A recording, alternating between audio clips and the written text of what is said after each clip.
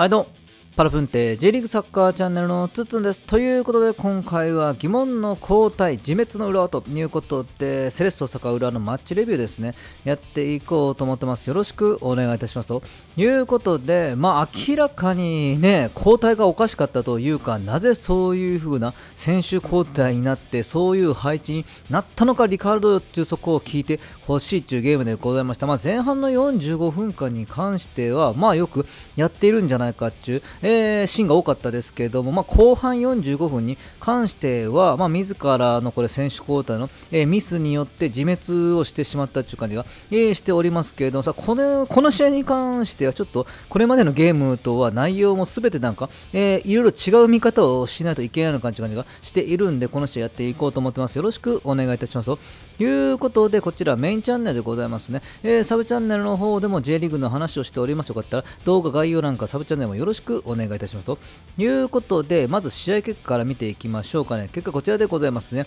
2対0、えー、セレッソが勝利、そして裏のね、これはね、良くない形で連続引き分け記録が止まってしまうというか、まあ、えー、本当最悪な形で止まってしまったという感じが、えー、しますけれども、清武選手の PK ですね、あとそしてマイクマのゴールですね、まあやっぱり、長崎の時からマイクマ見てきましたけれどもね、やっぱりあそこにしっかり、えー、顔を出す、毎回、キム・ジンヒョン選手のロングフィードに対してもしっかり飛び出しても反応、えー、していたんで、そこはやっぱりもっとフォワードの選手だなというのを改めて感じたこのマイクマのゴールでございましたけども、いや、そんなことじゃないと、まあ、これもちろん、えー、まあ、清武の PK もまあ良かったですし、まあ、これ、えー、マイクマの得点身長も良かったんですけど、これはもう本当、えー、しょうがないという話でございますが、しかし、ま、この、えー、清武、マイクマのゴール、なんとかすることができなかったのかという話でございまして、まずこちら、両チームスターティングメンバーになってきますけど、一応こんな、えー、形でスタートしました。まあ、ユンカー、小泉、やっぱり小泉がだいぶ調子上がってきましたね。特に前半、見ている感じだと、個人個人の選手は別に悪くないのかなというのはありました。こうね、本当選手のこれ、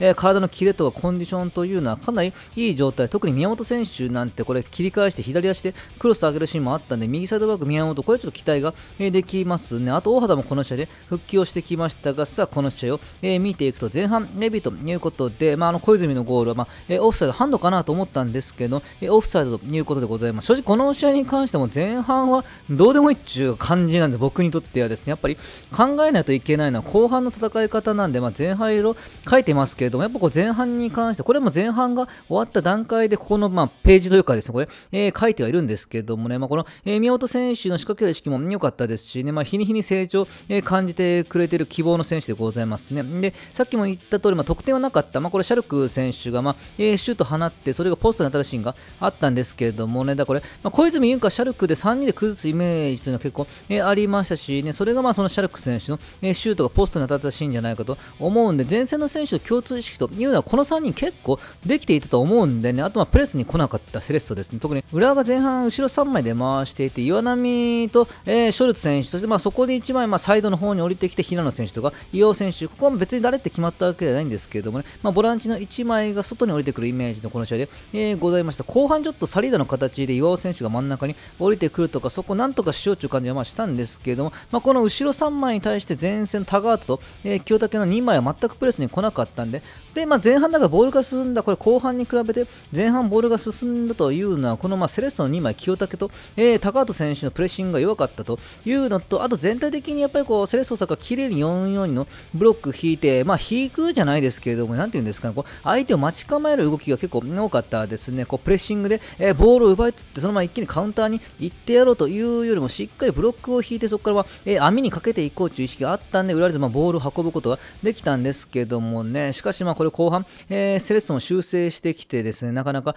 裏がボールが運ばないというシーンが結構多かったんで、こちら後半でございますけれどもね。で、その問題の後半になってくるわけでございますけれどもね、まあ、ユンカーは多分どっか怪我したんですかね、ちょっと足を、えー、押さえている、もも裏かどっかなんか押さえていたんですかね、えー、足を結構気にしている場面っていうのがあったんで、ユンカーがこれまあ戦術的、まあ、45分間最初から決めていたのか、それとも怪我によるものか、ちょっとそれによっては次の福岡戦も、ええスタメンのと変わってくる可能性あるんですけど、まあ、それはいいんです。まあ、ユンカーが怪我である、まあ、良くない。うん、ユンカーの怪我は良くない。正直言うとユンカーの怪我は良くないんですけれども、しかし、まあ、ユンカーの交代時代はしょうがないっていう話でございましてんで、後半からね、これ出していると江坂が入ってきてんで、江坂どういう風に使うのかなって、まあ、最初小泉江坂のゼロトップシステムにするのかなとか、まあ、3バックにしてまたそこ、えー、変えてくるのかなとかいろいろ考えてはみたんですけど、江坂が全然これボールに触る機会ってなかったと思います。ほとんどこの試合江坂、ボールに関与してませんで、江坂どこにいんのかなと思ったら、左サイドの大外に結構張るシーンが多くて、江坂さん、あなたそこで プレーして何か違いが出せるんですかっていう話でございますが、多分これはリカード監督の指示なんですかね。で、まあこれ、ん監督がもし江坂をこれ左サイドっていう風に指示をしているのであれば、江坂じゃなくて、これ、えー、松尾をこれ頭から使った方が良かったんじゃないかなね。要は左サイドハーフのこれ、外に張らせるんであれば、まあ、後半頭は江坂ではなく松尾からスタートして、で、この江坂のところに松尾選手、まあ、左サイドハーフ、外いっぱいにこれ松尾選手を張らせるとか、そっちの方が良かったんじゃねえかっていうのがあるんで、そこまずリカードのこれ失敗、間違いなくこれ失敗と思います。だからユンカーの交代もこれしょうがないとしてもですけどもね、そこに江坂を投入して、そして左サイドに張らせるというのは明らかにこれ愚策でございますね。本当握手で、えー、ございますんで、これをやるのであれば、後半頭からユンカーに変えて、松尾にか松尾を使って、そこでま左サイドで張らせるというの、ま、理解はできるんですけれどもね、で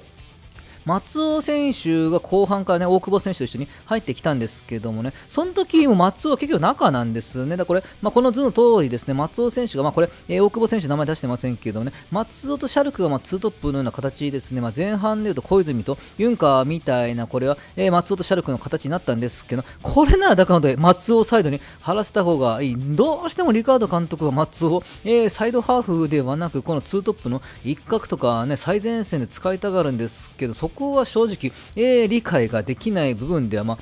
あるんですけれども、ね、特にこの形で、ね、あるのであれば江坂はもサイドハーフに置く理由もないですしねそしてもう一個やっぱ気になるのがあの大久保が最初右で入ったと思うんですね。右サイドハーフに大久保が入ったんですけども急にねリカード監督が、えー、大久保を右で使い出したなっていうのがあるんですね。多分もともと大久保選手は左利きでで右サイドでカットインからのシュートとかカットインしてからまプレーが得意な選手であったと思うんですけどこう横浜 F マイナス戦で左サイドハーフで入って最後アシスト決めたと思うんですね。これ、えー、最後ユンカー選手のハットリック3点目、えー、同点ゴールになったの大久保左サイドからえぐって、えー、アシスト決めているんですけれどもね、これ、え左サイド、もうずっとね、これ、そのその前の試合が昨年からまあ1年ぐらい前からあのリカード監督が大久保選手をずっと左サイドハーフで使っていて、で、あ、これ多分リカード監督の中でなんか理由があってずっと左サイドハーフで起用してんだろうなっていうのがあって、そしてマイナス戦であのアシスト左サイドに入って決めたんで、あ、こういうことかってはよくわかんないけどね、えー、こういうことがわかんないんですけど、ようやく大久保左サイドで結果出したねって思ったんですけど、最近右でね、あの結果出した後からずっと右で使われてる、まあ、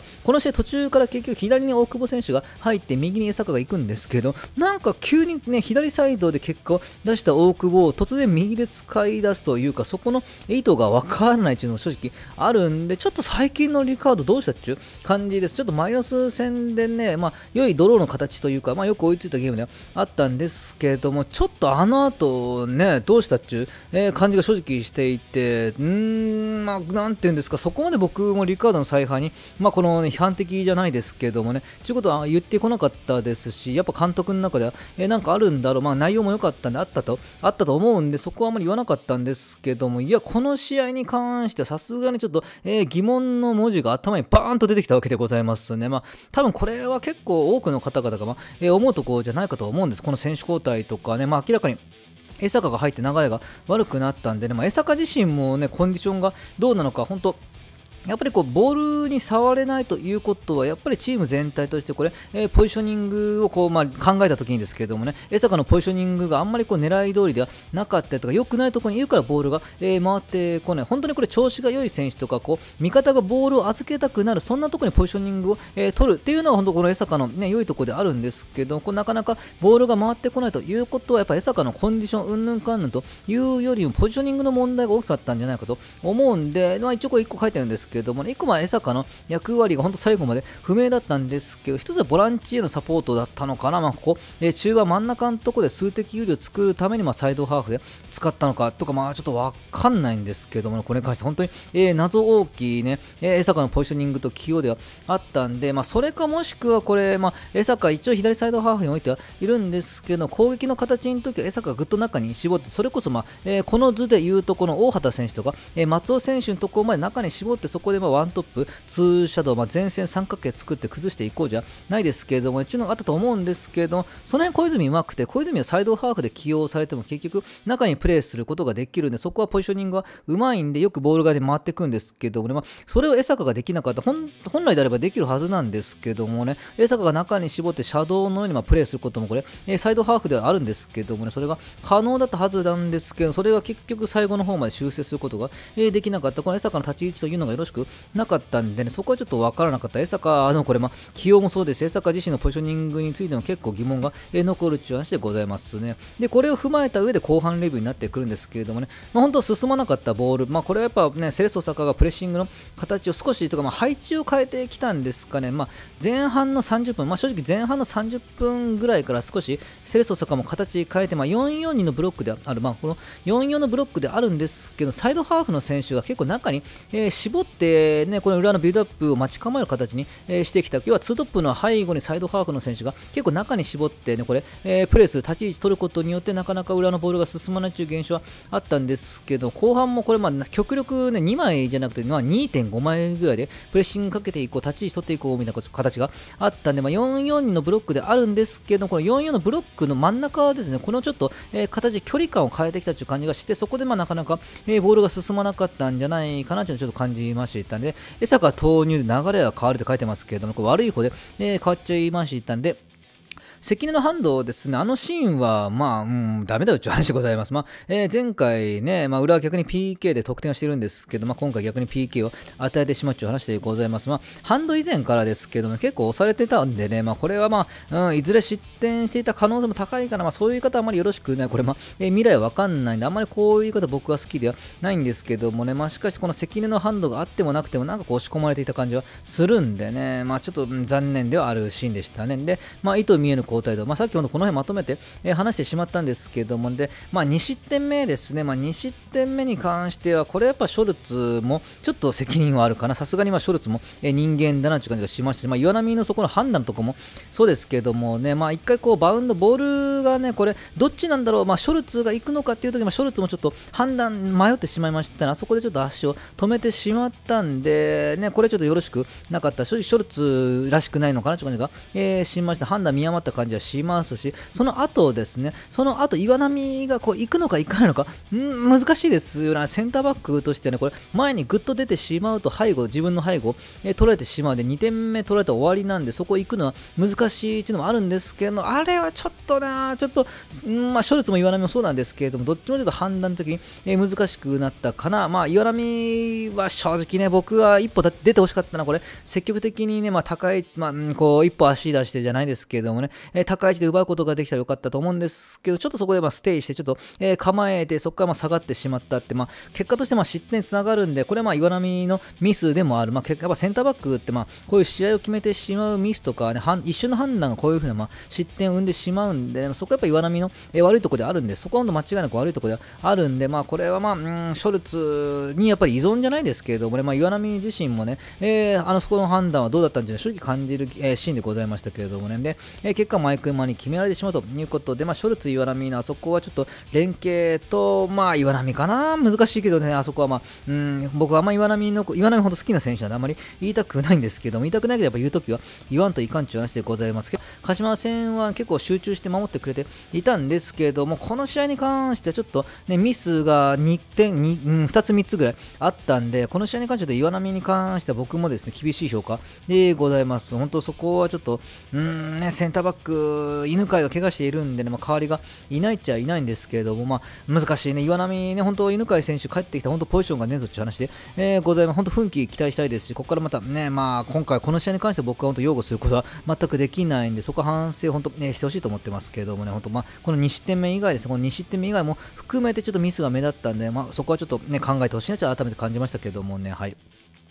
ということでございますね、まあ、本当悔しいゲームになりました。こんな気持ちで水曜日を、えー、迎えたくないっていう気持ち、あの僕のこれ、まあえ、仕事も含めてですけれどもね、えー、っていうのがあるんですけれども、本当ね、まあ、やっぱこう仕事頑張ってね、我々はですね、これ、えー、我々一般人はですね、本当お仕事を頑張っている中の水曜日だったんでね、本当勝って気持ちよく、えー、ね、週末迎えたかったところであるんですけど、本当非常に、非常にまあ残念なゲーム内容であったんで、次の福岡戦取り返してほしいと思ってますけれどもね、はい。ということでございますね、以上パラブンテージルサッカーチャンネルをつつによかったらチャンネル登録お願いします。さよなら。